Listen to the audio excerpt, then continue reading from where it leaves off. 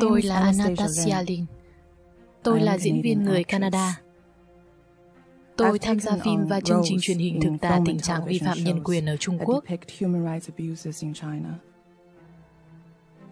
Để chuẩn bị, tôi gặp gỡ những người là nạn nhân trực tiếp, gồm cả học viên Pháp Luân Công. Họ không phải tội phạm, họ là người tin vào chân, thiện, nhẫn. Tôi muốn cất tiếng thay những người Trung Quốc bị đánh đập, bị đốt, giật điện.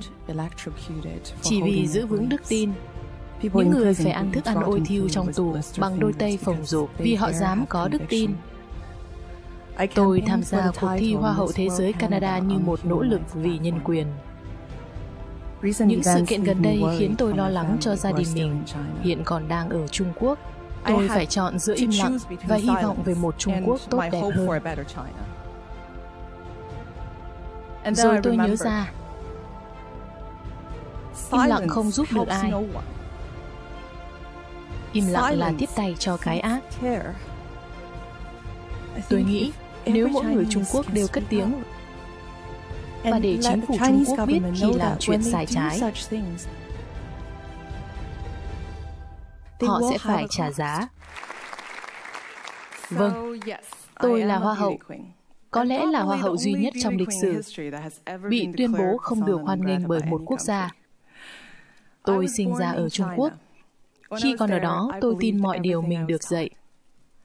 Sau đó, tôi chuyển đến Canada và được nhận món quà thật quý giá, cơ hội tái tạo lại cái nhìn của bản thân về thế giới. Tôi muốn tìm hiểu những điều bị giấu giếm mà mình chưa biết, nên tôi tìm mọi từ khóa các thầy cô Trung Quốc dán mác nhạy cảm. Tôi xem được những đoạn video về sự tàn bạo của cuộc thảm sát Thiên An Môn năm 1989. Đây là sự kiện mà hầu như đã bị xóa khỏi ký ức người dân Trung Quốc. Tôi cũng biết về cuộc bức hại Pháp Luân Công. Vào cuối những năm 90, có 70 đến 100 triệu người Trung Quốc thực hành môn tu luyện thiền định Phật gia bình hòa này. Với nền tảng căn bản là chân, thiện, nhẫn, Pháp Luân Công hoàn toàn tách khỏi thuyết vô thần và tôn thờ tiền bạc của Đảng Cộng sản Trung Quốc. Lúc đầu, Pháp Luân Công được nhà nước ủng hộ nhờ tác dụng cải thiện sức khỏe tuyệt vời. Đáng tiếc thay, sự phổ biến và tự chủ của Pháp Luân Công bị Đảng xem là một mối đe dọa. Thách thức quyền kiểm soát tuyệt đối của Đảng lên tâm tư tình cảm của người dân Trung Quốc. Những ai quen thuộc với lịch sử Trung Quốc hiện đại đều biết, Đảng không muốn có bất kỳ cạnh tranh nào, cho dù là thiện lương về ý thức hệ. Nên vào năm 1999, Đảng Cộng sản Trung Quốc phát động một cuộc đàn áp có hệ thống và trường kỳ thâm nhập vào mọi giai tầng xã hội, hòng xóa sổ môn tu luyện này. Trong một báo cáo gần đây, Freedom House viết hàng chục nghìn học viên Pháp Luân Công đã đang bị giam giữ không qua xét xử. Họ là nhóm tù nhân lương tâm lớn nhất Trung Quốc, nếu không nói là lớn nhất thế giới. Đảng này công khai phê chuẩn cho phép dùng tra tấn, cưỡng ép học viên từ bỏ đức tin. Hệ quả là số nạn nhân bị sát hại trong tù cực cao một chiến dịch sâu rộng của hận thù, tuyên truyền và vu khống được triển khai để phỉ báng và tước đoạt nhân quyền học viên Pháp Luân Công. Sau khi biết tất cả chuyện này, tôi nhận ra trước đây mình đã bị lừa dối. Dưới ảnh hưởng của truyền thông nhà nước và hệ thống giáo dục, tôi bị tiêm nhiễm cảm giác ghét bỏ và khinh thường những anh hùng thật sự của nước tôi. Những con người liều cả mạng sống vì lý tưởng cao cả hơn. Tệ hơn nữa, tôi còn bị xúi dục tham gia huấn luyện người khác. Là lãnh đạo sinh viên ở Trung Quốc, vai trò của tôi lúc đó là tổ chức cho bạn cùng lớp xem video tuyên truyền hận thù. Đảng Cộng sản Trung Quốc muốn biến người dân thành tòng phạm trong tội ác của nó. Biết mình bị lừa dối thời gian lâu như ấy là một sự sỉ nhục sâu sắc. Có lẽ đó là lý do rất nhiều người Trung Quốc vẫn rất khó chấp nhận sự thật, ngay cả sau khi họ rời Trung Quốc. Thật hổ thẹn khi biết toàn bộ hệ thống niềm tin của bạn được tạo nên trên dối trá. Ngay lập tức tôi hiểu được điều này. Tôi muốn tìm cách phủ nhận nó. Cách mà không chỉ phản đối nó mà còn để cất tiếng nói thay cho người Trung Quốc, những người Trung Quốc dũng cảm, bị vu khống vì nghĩa cử cao đẹp của họ. Suốt cuộc, tôi chọn diễn xuất để thực hiện ấp ủ này. Tôi tìm những vai diễn khiến tôi rung động sáng tỏ được tình hình Trung Quốc hiện nay. Từ vấn đề kiểm duyệt công khai đến tham nhũng đưa đến những ngôi trường kém chất, sập chết hàng nghìn trẻ em trong trận động đất Tứ Xuyên. Có người nghĩ tôi đã phá hỏng sự nghiệp của mình khi đóng những vai này. Rất nhiều diễn viên Trung Quốc được mời tham gia những phim này từ chối lời mời vì lo sợ Đảng Cộng sản Trung Quốc trả thù. Trong bộ phim mới nhất, Lưỡi dao dỉ máu, tôi thủ vai một người phụ nữ cự tuyệt chối bỏ đức tin. Kết quả là cô bị giết trong tù, còn nội tạng bị đem bán thu lợi phi pháp. Nghe thật bi thảm. Đây cũng là điều xảy đến với hàng nghìn tù nhân lương tâm Trung Quốc. Hãy suy ngẫm, Trung Quốc thực hiện vượt xa 10.000 ca ghép tạng mỗi năm. Tuy vậy, hầu như không có hiến tạng tự nguyện. Bệnh viện hứa hẹn sẽ tìm được thận, gan và tim ghép chỉ trong vòng vài tuần. Cơ quan chức trách bao biện số nội tạng này lấy từ tử tù những người phạm tội tử hình. Nhưng tỷ lệ tử tù hiện tại không thể nào đủ cung cấp nguồn tạng cấy ghép lớn nhường đó. Nhận thấy sự khác biệt này, nhiều nhà nghiên cứu cố lần tìm nguồn cung tạng thật.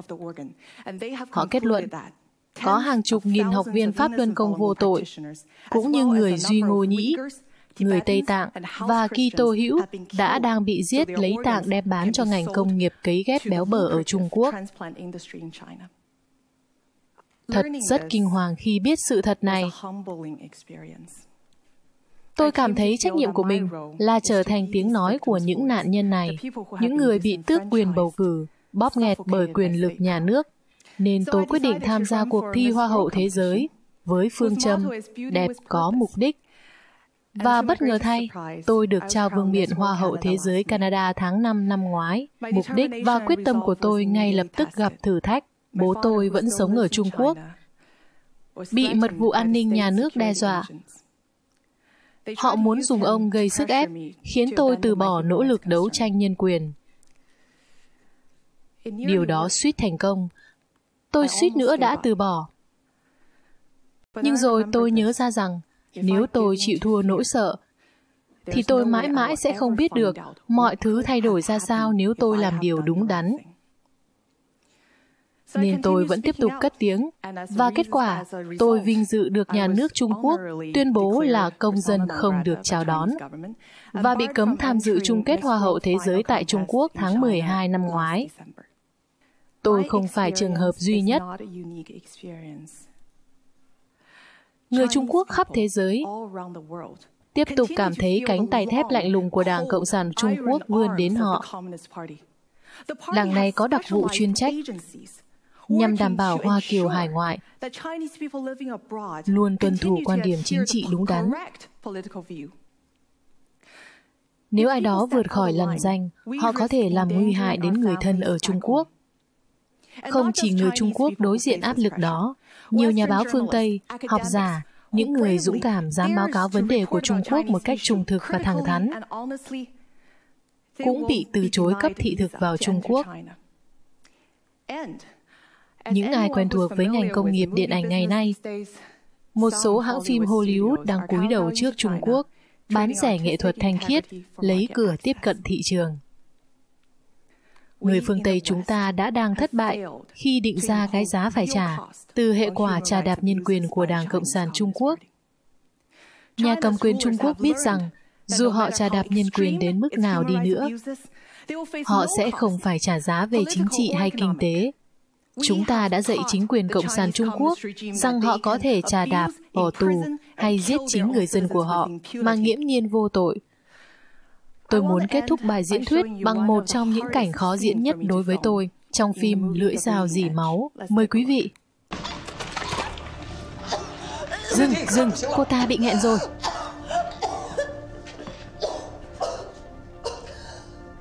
Cô từ bỏ tuyệt thực chưa? Ông có vợ hay con gái không? Nếu họ bị đối xử như thế này, ông sẽ cảm thấy ra sao?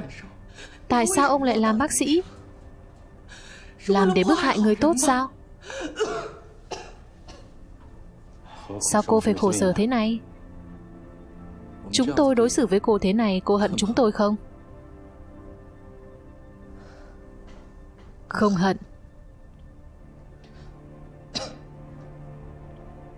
Bởi vì các anh mới chính là nạn nhân bị bức hại trong chuyện này.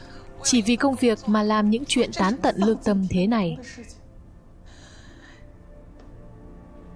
Tương lai, khi chân tướng công khai khắp thiên hạ, khi con cái các anh hỏi, thời điểm Pháp Luân Công bị bức hại, cha đã làm gì? Các anh làm sao trả lời đây?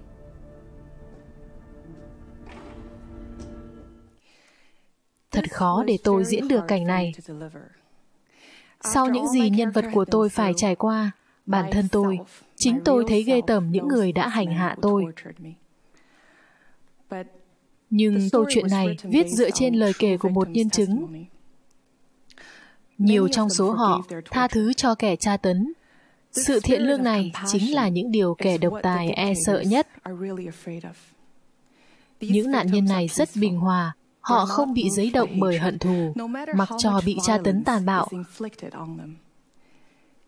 Họ không để mình trở thành bất hảo. Đây cũng là hy vọng của tôi cho tương lai Trung Quốc. Vẫn còn đó rất nhiều người dám liều cả mạng sống của họ để cất tiếng thay những người đồng hương đồng cảnh. Chúng ta hãy cùng làm gì đó để xứng đáng với sự hy sinh và lòng dũng cảm của họ. Bạn không cần phải là diễn viên mới hiểu được tình cảnh của những con người ấy. Bạn không cần phải là diễn viên để chia sẻ câu chuyện của họ. Nhưng nếu bạn có thể hành động, chúng tôi sẽ vô cùng biết ơn. Cảm ơn rất nhiều.